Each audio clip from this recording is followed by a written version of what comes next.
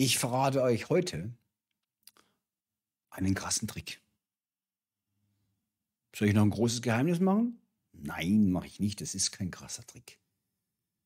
Ihr werdet sehen, wenn ich euch das jetzt erklären werde, dann ist es se völlig selbstverständlich, dass alles andere definitiv keinen Sinn macht, wenn es darum geht, neue Dinge in seinen Tagesablauf einzuplanen die sogenannten Routinen. Freunde, passt auf. Die meisten Menschen scheitern in ihrem neuen Vorhaben innerhalb der ersten zwei bis drei Wochen. Gerade zum Thema Gesundheit, gerade zum Thema Ernährungsumstellung, gerade zum Thema Sport, gerade zum Thema Achtsamkeitstraining, gerade zum Thema frühzeitig schlafen gehen. Scheitern die meisten innerhalb der ersten paar Wochen. An was liegt das? Schaut mal, was ist denn überhaupt eine Routine? Eine Routine ist irgendwas, was wir tun, wo wir nie mehr drüber nachdenken müssen. Zähne putzen, müssen wir nicht drüber nachdenken. Wenn ihr morgens euch geduscht habt, habt ihr einen exakten Ablauf, wie ihr euch abtrocknet, wie ihr, welches Bein als erstes dran ist, welches Bein als zweites dran ist, wie ihr eure Zähne putzt, wie ihr die äh, Tube aufmacht. Das sind alles automatisierte, routinierte Bewegungsabläufe, ohne dass ihr aber nur einen Gedanken darüber verschwenden müsst. Das läuft alles automatisch ab. Müssen wir nichts mehr darüber nachdenken. Genau das ist ja der Vorteil. In dem Moment, wo wir nicht mehr darüber nachdenken müssen, in dem Moment, wo es für uns selbstverständlich ist, ist es eine Routine. Und jetzt überlegt mal, wie lange hat es gedauert, bis es mit, mit dem Zähneputzen geklappt hat? Routiniert. Kleine Kinder haben es geübt, geübt, geübt, geübt. Das gleiche gilt für die Schuhe anziehen, für die Strümpfe anziehen, für die Hosen anziehen. Und wenn ihr euch heute beobachtet, habt ihr bei solchen selbstverständlichen Dingen immer den gleichen Ablauf. Ihr müsst mal beobachten. Ihr müsst dann immer drüber nachdenken. Ihr könnt sogar nebenher an andere Dinge denken. Das ist ja das Faszinierende. Und jetzt ist die Frage, warum scheitern wir innerhalb der ersten paar Wochen bei neuen Routinen? Dafür gibt es einige Gründe. Ein ganz schwerwiegender Grund ist ein fehlendes Zeitmanagement. Ich beobachte es ja schon seit 30 Jahren. Und da ist es tatsächlich so, die Menschen, die ein gutes Zeitmanagement haben, bei denen ist die Wahrscheinlichkeit, dass ihr Vorhaben zum Erfolg führt, viel größer, wie bei den Menschen, die sagen, oh, ich mache das Freestyle. Ich schaffe das schon irgendwie. Da ist das Scheitern bei den meisten schon vorprogrammiert. Genau aus diesem Grund ist es ganz gut, wenn ihr euch was vorgenommen habt, dass ihr ganz klar euch ein Zeitfenster macht von mindestens sechs Wochen, mindestens, bis zu acht bis zehn Wochen, vielleicht sogar zwölf Wochen, je nach Persönlichkeitsprofil. In dieser Zeit solltet ihr ein sensationell gutes Zeitmanagement haben. Wann stehe ich auf? Wann mache ich meinen Sport, wenn ich ihn morgens mache? Beziehungsweise auch, wenn ich ihn abends mache. Wann mache ich den Sport? Wo mache ich den Sport? Das Ganze eintragen in euren geschäftlichen Terminkalender. Das gleiche gilt auch zum Thema Essen. Was frühstücke ich? Ja, wir sollten wissen, was wir frühstücken. Wann frühstücken wir? Hm, wann essen wir zu Mittag? Circa. Wann essen wir zu Abend? Vor allem, was essen wir? Das sind alles Dinge. Ihr sollt ja wissen, wie es funktioniert. Also braucht ihr einen Plan. Ja, ein Plan, eine Strategie. Das gilt auch fürs Schlafen. Viele Menschen sagen, ab sofort schlafe ich früher. Ja, wann ist denn früher? Früher um 21 Uhr, um 22 Uhr, 22.30 Uhr. Ich lasse mir das mal offen. Ja, und schon wieder schwuppdiwupp ist es halb eins, dreiviertel eins, eins. Ja, weil euer Körper ist es gewöhnt. Ihr kennt es nicht anders. Ihr müsst euch umgewöhnen. Dazu braucht man einen Plan, eine Strategie. Ansonsten wird es nicht funktionieren. Das gleiche geht natürlich auch ja, für die Meditation, für die Achtsamkeit. Ja, ich werde mal schon meditieren. In den ersten zwei, drei Wochen wird es funktionieren, danach wird es nicht mehr funktionieren, weil ihr keine Strategie habt, ihr habt noch keinen Plan. Das heißt, jede Entscheidung von etwas Neuem, was ihr in Anlauf nehmt, das kostet euch Energie. Ihr müsst eine Entscheidung treffen.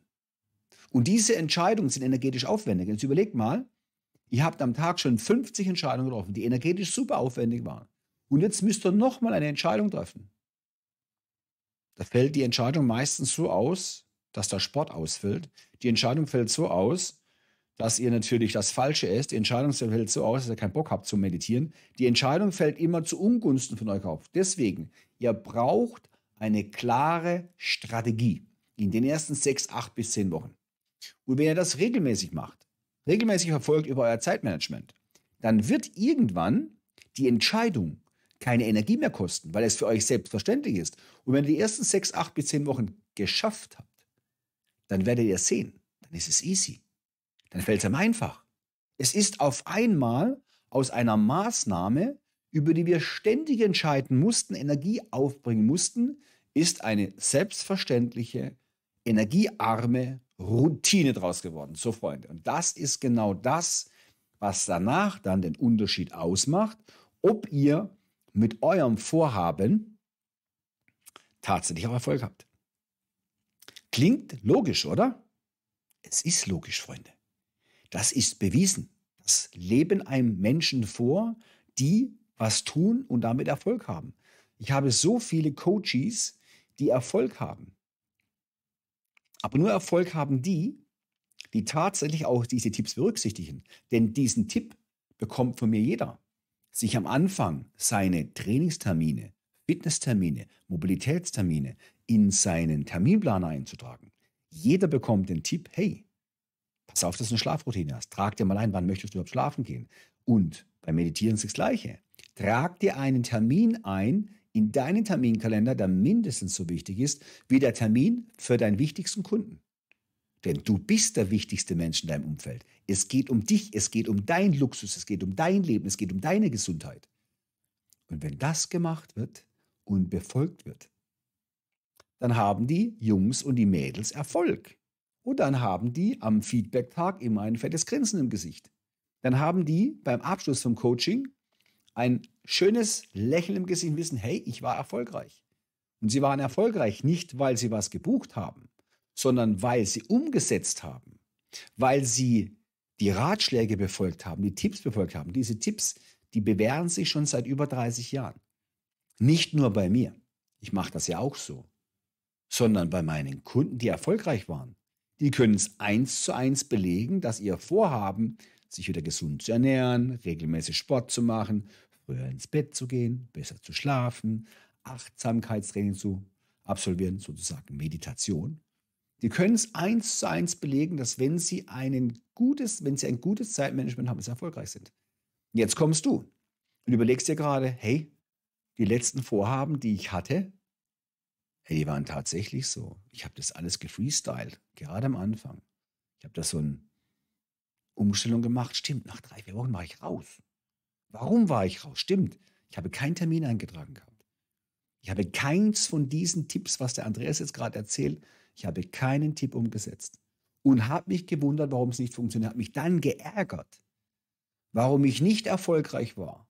Und jetzt auf einmal denke drüber nach, denke, hey, so schwierig ist es ja gar nicht.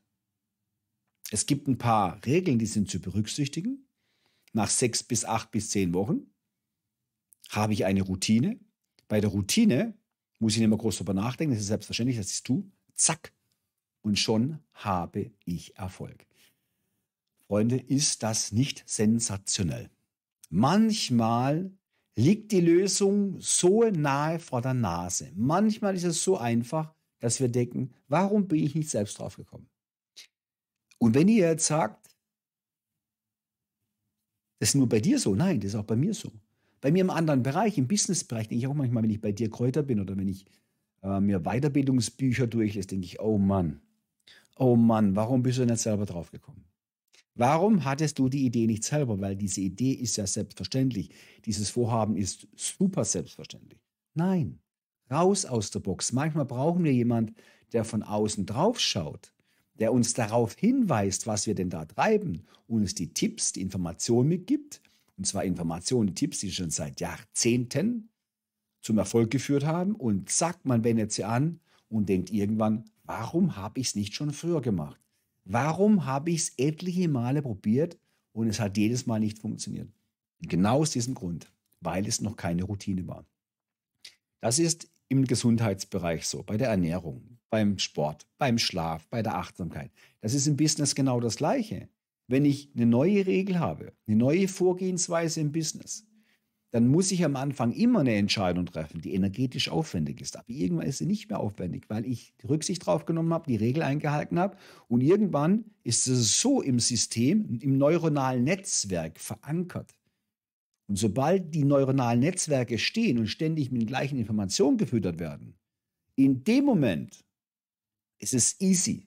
In dem Moment haben wir eine ganz klare Entscheidung, die wir treffen, ohne dass wir noch groß Energie aufwenden müssen. Genau das ist der Trick. Stärke dein neuronales Netzwerk, indem du dir eine Routine aufbaust. Eine Routine pause dir auf, indem du eine gute Strategie hast, ein gutes Zeitmanagement, indem du weißt, wann du was tust. Dann wird aus einer ehemalig sehr aufwendigen Entscheidung, oh, ich muss wieder drinnen, oh, ich soll schon früher ins Bett gehen, wird eine Selbstverständlichkeit. Es ist einfach so und es klappt wunderbar und du bist zufrieden und dann musst du nie mehr drüber nachdenken und hast krassen Erfolg. So, und jetzt sagst du, lieber Andreas, das sind Spitzeninformationen, die du geliefert hast. Und ja, du hast recht. So kann ich vorgehen und so werde ich Erfolg haben. Aber weißt du was?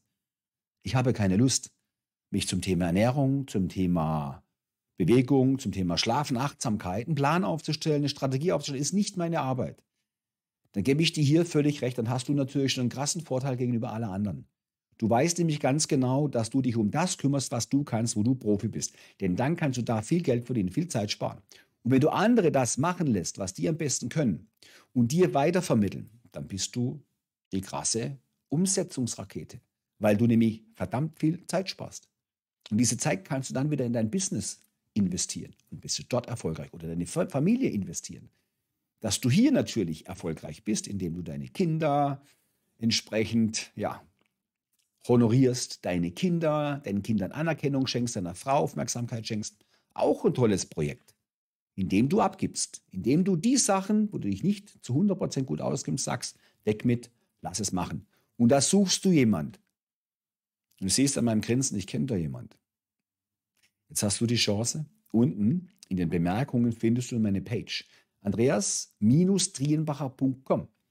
Und da gehst du rein und vereinbarst jetzt direkt deinen ersten unverbindlichen, kostenfreien Strategie-Beratungstermin. Und dann sehen wir uns in Kürze und wir zwei werden uns unterhalten. Circa eine Stunde und ich werde dir aus meinem Sammelsorium an Umsetzungsregeln, Strategien an Erfolgsregeln werde ich dir am Sammelsurium zusammenpacken und dir genau erklären, wie du an dein Ziel kommst. Wie genau du es schaffst, genau in diesem Bereich erfolgreich zu sein. Und dann wirst du es feiern, wirst einen Riesenspaß haben. Das garantiere ich dir. Jetzt wünsche ich dir bei allem, was du tust, ganz viel Spaß und freue mich in Kürze von dir zu hören. Bis dahin, bleib gesund, mach's gut. Bye bye.